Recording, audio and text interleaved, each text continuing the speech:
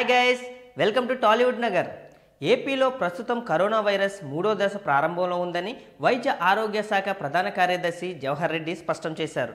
April పద్నాలుగు తర్వాత పూర్తిగా లాక్డౌన్ ఎత్తివేసే అవకాశం ఉందని విజయవాడ గుంటూరు లాంటి హాట్స్పాట్లలో ఆంక్షలు కొనసాగుతాయన్నారు. రానున్న రోజుల్లో సుమారు మూడు లక్షల ర్యాపిడ్ టెస్టులను నిర్వహిస్తామని అప్పుడే వైరస్ వ్యాప్తిపై అవగాహన వస్తుందని ఆయన మీడియా సమావేశంలో వెల్లడించారు. ఇంటింటి సర్వేలో సుమారు ఐదు వేల మందికి కోవిడ్ లక్షణాలు ఉన్నట్లు గుర్తించామన్నారు ఆయన. విదేశాల నుంచి రాష్ట్రానికి ఇరవై తొమ్మిది వేల మంది వచ్చారని తెలిపారు. అటు మరకజ్ నుంచి వచ్చిన వాళ్ళు వెయ్యి మంది ఉన్నారన్నారు. అంతేకాక ఏపీలో నమోదైన పాజిటివ్ కేసుల్లో రెండు వందల ఎనభైకు మరకజ్ లింకులు ఉన్నాయన్నారు. మరోవైపు కరోనా నియంత్రణలో భాగంగా ఇరవై లక్షల పీపీఈలు పద్నాలుగు లక్షల ఎన్ నైంటీ ఫైవ్ మాస్కులు సిద్ధం చేస్తామన్నారు. అటు నలభై లక్షల గ్లౌజ్లు పన్నెండు లక్షల సర్జికల్ మాస్కులు ఉన్నాయని అలాగే హైడ్రోక్సీ క్లోరోక్విన్ ట్యాబ్లెట్స్ ఇరవై లక్షలు అజిత్రోమైసిన్ పద్నాలుగు లక్షలు సిద్ధంగా ఉంచామని జవహర్ రెడ్డి ఈ సందర్భంగా తెలియజేశారు. మరిన్ని ఇంట్రెస్టింగ్ అప్డేట్స్ కోసం చూస్తూనే ఉండండి. Our channel.